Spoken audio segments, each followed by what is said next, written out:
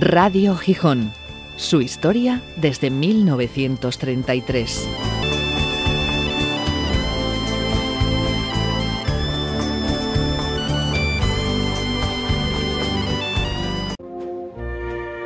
...1999 el buque Erika se parte en dos frente a las costas bretonas y libera al mar 10.000 toneladas de fuel, causando la mayor catástrofe ornitológica en el Atlántico hasta el momento. Frente a la costa gijonesa y próximo a las instalaciones del camping, se inaugura Solidaridad, obra del artista onubense Pepe Noja. La escultura son dos eslabones que se enlazan entre sí. Ingresa en la redacción de Radio Gijón Pilar Arias de Velasco. El Gijón Baloncesto asciende a la Liga ACB y Cascos echa un capote en busca de patrocinador. El club pasa a llamarse Cavitel Gijón Baloncesto. En relación con el Sporting aparece una nueva sociedad denominada Por el futuro y la estabilidad del club y el pufo aumenta. Antonio Martínez Morís recibe la antena de plata de la Asociación de Profesionales de Radio y Televisión a la mejor labor técnica. Eurovisión se celebra en Israel y Suecia. Otro de los habituales favoritos lo gana. La canción se llama Take Me to Your Heaven y la canta Charlotte Nilsson. Lidia representa a España y queda en último lugar con la canción No quiero escuchar. Vuelve a retirarse Michael Jordan. Una vez más, el mundo del baloncesto lamenta la retirada del mejor jugador de todos los tiempos. Jesús López Cobos dirige La décima de Mahler en la versión restaurada por Remo Massetti. Fallece Enrique Urquijo, líder carismático de los secretos y los problemas y excelente compositor. El joven y taciturno cantante aparece en un portal del barrio de Malasaña en donde su camello pudo haberle arrojado. En su corta trayectoria deja grandes canciones.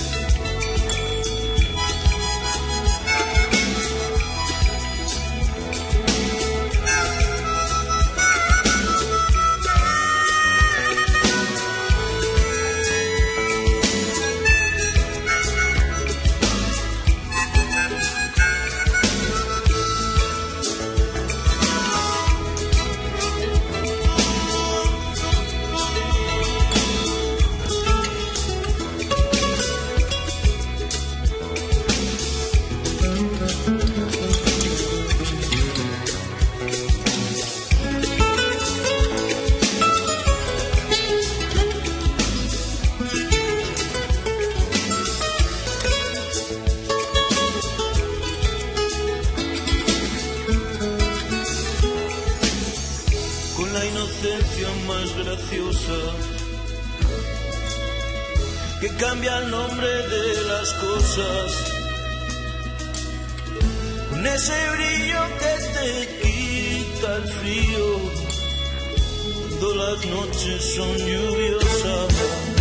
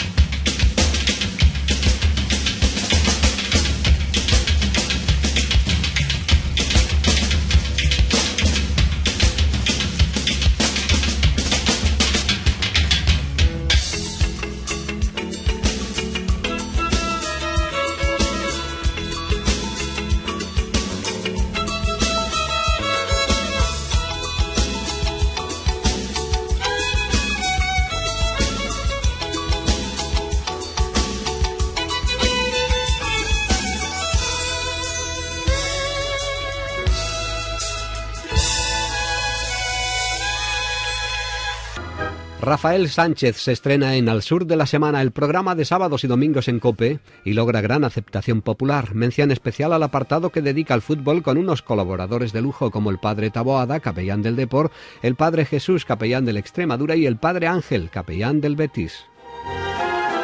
El concejal Iván Álvarez Raja se hace cargo de la presidencia del Teatro Jovellanos, que este año celebra su centenario y nombra directora a Carmen Veiga, una señora muy entendida en extracciones de sangre. Es presidenta de Cruz Roja Gijón.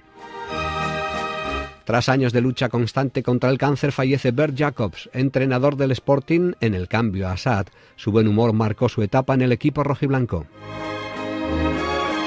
Vicente Álvarez Areces llega a la presidencia del Principado tras varios años como alcalde de Gijón. La ciudad le recordará especialmente por lograr que las inundaciones de Gijón pasaran a la historia. Llega para ocupar su lugar en la alcaldía gijonesa la primera mujer en la historia, doña Paz Fernández Felgueroso, que accede al cargo tras años al frente de la Dirección General de Instituciones Penitenciarias.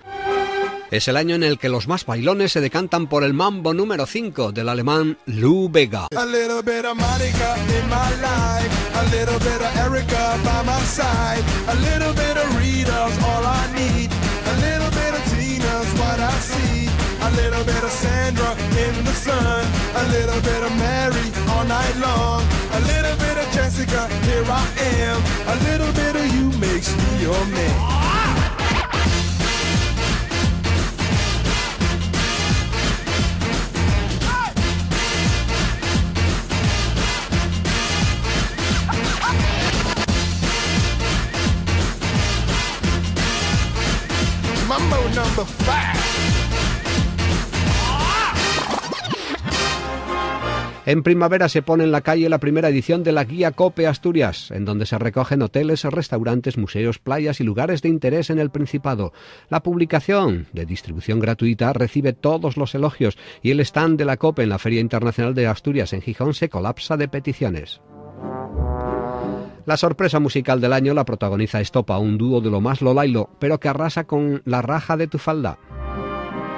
Luis Miguel llena el Palacio de los Deportes de Gijón. El cantante mexicano demostró en el ensayo previo que tenía sus manías y mandó a todos los que en esos momentos se encontraban en el recinto, policías, protección civil, trabajadores de los chiringuitos, organización, etcétera, etcétera, que siguieran haciendo sus cosas, pero de espaldas al escenario. No quería que nadie descubriera antes del concierto cómo sería la puesta en escena. También repite este año Ray Charles en la Plaza de Toros. Al teatro gijonés llega Art Garfunkel sin Paul Simon. Fue un concierto demasiado blando y dulzón.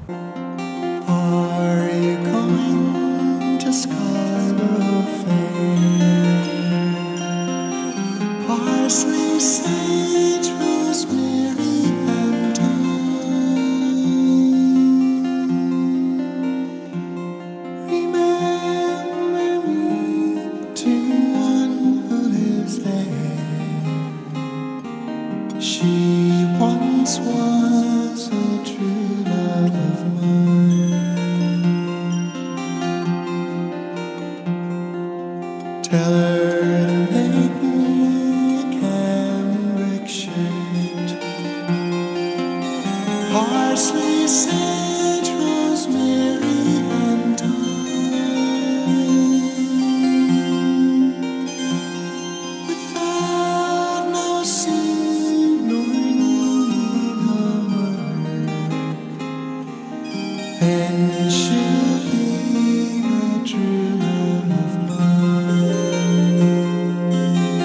Quien triunfa en el teatro gijonés es Bob Dylan. Nunca los fans lo habían disfrutado tan cerca.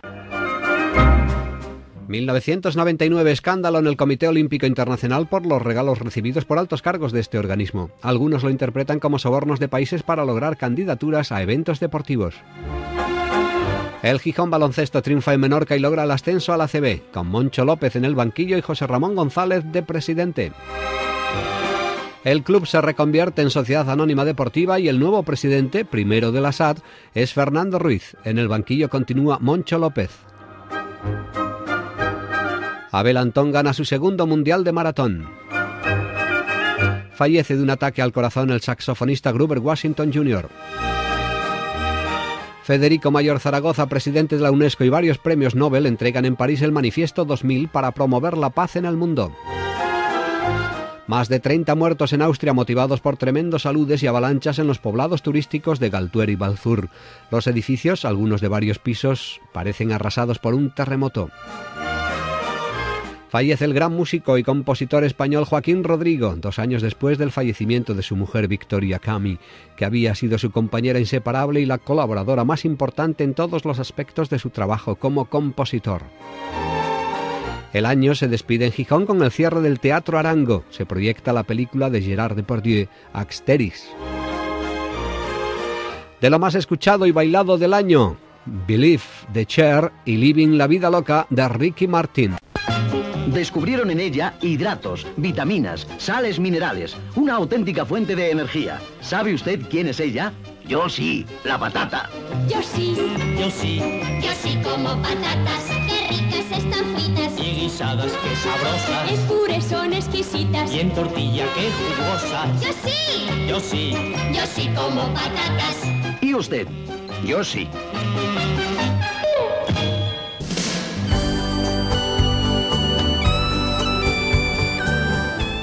Radio Gijón.